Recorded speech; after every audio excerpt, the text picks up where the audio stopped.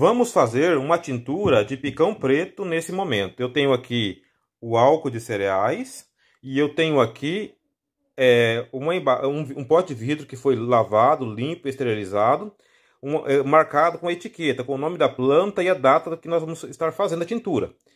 Nós colocamos a etiqueta com a data para deixar 10 dias. Então, quer dizer, se estou colocando dia 15, dia 25, dia 26, eu vou estar coando e filtrando essa tintura.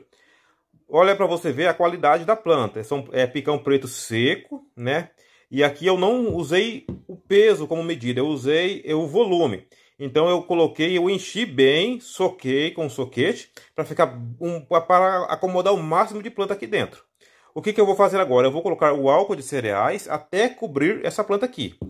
O que, que você precisa ter bastante atenção? O álcool de cereais tem que ser álcool de cereais 70, né? O, o, a, aonde você estiver usando tem que ser bem higienizado, né? E o pote de vidro é, tem que ser limpo, tem que ser esterilizado e tem que ser planta de qualidade. Você precisa de uma planta de qualidade, tá? Não usa qualquer planta não, porque você vai fazer um tratamento. E para um tratamento, a planta tem que ser planta de qualidade. Isso é o essencial, uma planta de qualidade. Essa planta aqui foi nós que colhemos, nós que secamos, é nós que cultivamos. Então nós temos certeza da procedência. E então o melhor que você pode é você mesmo colher, secar e fazer a sua tintura. Pode fazer com ela fresca também. Eu prefiro fazer com ela seca para não ter o caso da água, né? Então aqui eu tenho certeza que vai ser um álcool 70 que vou estar utilizando. Se tivesse água na planta, talvez esse álcool seria menor, porque a planta também teria água. E aqui não, aqui eu tenho certeza que vai ser utilizado um álcool 70. 70% de álcool e 30% é água. Então, é isso que nós vamos fazer. Tá certo? O que, que eu vou fazer agora? Eu vou colocar esse álcool aqui dentro do vidro. Vamos ver se eu consigo fazer com a... gravando. Vamos tentar para ver? Olha lá. Aqui. Vamos ver se vai encher o vidro. Olha aí para vocês verem. Tá saindo o ar. Aí, ó, coube quase um litro. Não coube por causa do volume do álcool, né? Tá certo, ó? É isso que nós fizemos. Agora eu vou tampar o vidro e já venho conversar com vocês. Olha, pessoal. A tintura ficou pronta. Temos a data, né? E o que, que nós vamos fazer agora? Agora você precisa, nós precisamos deixar essa, essa, esse álcool é, fazer a extração do ativo da planta. Então nós vamos deixar no armário, num lugar escuro. Eu vou, é, preferencialmente, você pode envolver num saco plástico de, esse saquinho de lixo, sabe? Saco escuro, uma sacolinha escura e coloca no armário escuro e deixa lá. Que o, que o álcool vai tirar todos os ativos da planta. E depois de 10 dias, o que, que a gente faz? A gente pega esse álcool, passa numa peneira, e depois passa no filtro. Pode ser um filtro desse de fazer café. Coloca o filtro, um filtro só para fazer a tintura. Você vai filtrar e depois de filtrado você pode colocar numa garrafa. Pode ser essa de essas garrafas de vinho ou comprar uma garrafa própria, garrafas de azeite. Lava bem, higieniza bem. É, garrafas de cachaça, mas é bom uma garrafa âmbar, uma garrafa escura, tá? De vidro.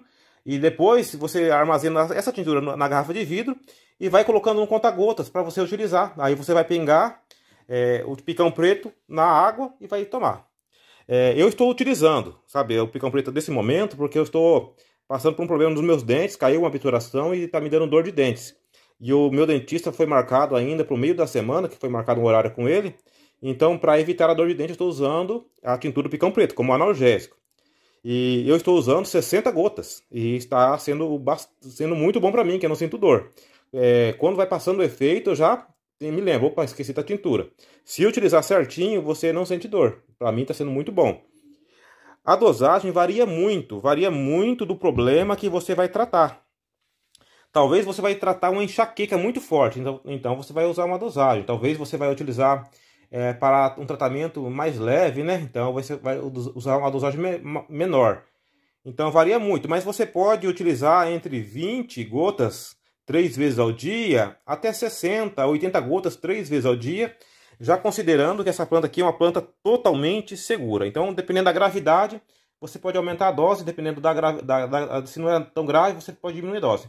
Entre de, de 20 gotas três vezes ao dia, até 60 gotas quatro vezes ao dia, diluído num copo de água, tá certo? Pessoal, se você quiser comprar planta seca de qualidade, se você quiser comprar estacas, mudas de plantas medicinais, se você quiser aprender a, a, a fitoterapia, usar plantas medicinais, nós também estamos promovendo um curso. É só você conversar com a Larissa no WhatsApp, que vai apresentar no seu vídeo, e pedir para ela o link do curso ou, ou combinar com ela as plantas que você deseja, tá certo? Nossas plantas são lavados, selecionados, cultivados na agricultura sintrópica, sem veneno, sem, adubo, sem adubos químicos, tudo feito manualmente, artesanalmente, para garantir uma, uma qualidade 100%, tá bom? Então é isso, conversa com a Larissa, tá bom? Se, e eu te peço também, ora Deus por mim, que eu vou orar a Deus por vocês, me coloca nas mãos de Deus, apresenta esse trabalho nas mãos de Deus, que eu vou orar por vocês todos os dias, tá certo, pessoal? Usa plantas medicinais, elas irão te surpreender.